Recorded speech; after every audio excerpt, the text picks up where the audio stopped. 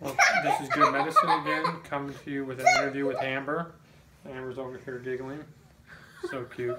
Um, I want to talk to you all about Down syndrome today.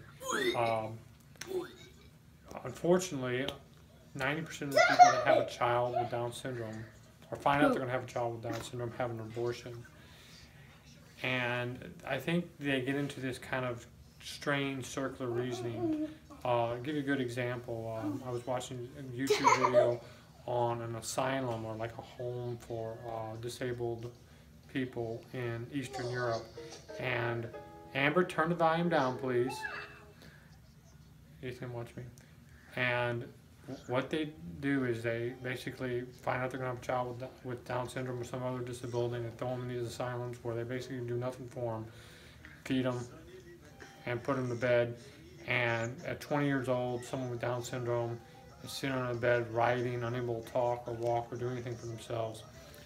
And the truth is, if you actually care for them and you get them educated, they can become highly functional or even semi-functional. There's quite a range from low range function to high range, but it's a there's a lot that can be done if you just treat them with respect and love them.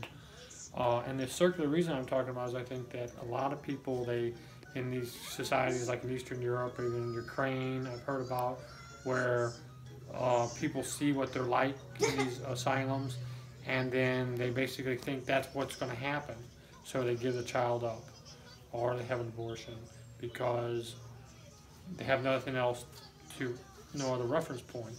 Um, they don't realize that if you actually take care of them and love them, they will develop quite well. So we're here with my second interview with Amber, and so we're going to come down here, we're going to talk to her and see how she's doing. Okay, Amber, can you talk to everybody? Can you say hi? And show everybody your video. What are you watching? No, no. Ah, eh. Yeah, don't get too close to her. So this is this is what she's watching. Uh, what's your favorite cartoon? Huh? What's your favorite cartoon? Shimmer and Shine, right? Shimmer. Shimmer's your favorite, right? Yes. You like Shimmer better than Shine, so she's got a favorite there, Shimmer and Shine. So Amber, can you count for me? One, two, three, four, six. That's five. Oh. We'll do it again. One, two, three, four, five. Good job. So Amber's also starting to read. and She's she's really come along real good. She can do a lot of stuff. So people with uh, Down syndrome are very wonderful people.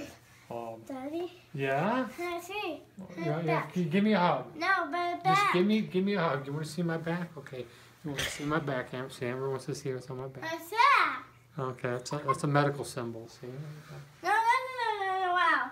No, back. Okay, okay, okay.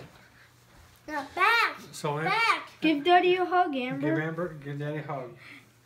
Oh, no, no. Amber gives me a hug every day. Uh huh. Okay. Daddy. All right. Say, can, Daddy. can you say can you say bye bye? Subscribe and like. Can you say that? Anyways. Huh. You, you, you, you, you. Say bye bye. Bye. Okay, that's it.